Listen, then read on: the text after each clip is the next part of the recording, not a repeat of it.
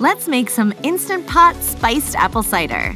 First, place all the ingredients into an Instant Pot, then close the lid and close the valve to seal. Pressure cook for 11 minutes. Remove the lid once the steam valve has naturally released. Pour into a strainer to catch liquid in the bowl. Using a wooden spoon, press and mash the apples and oranges into the strainer. This will help drain the fruit but also allow some pulp to push through. Discard the fruit and pour the cider into a large jar. Serve and enjoy.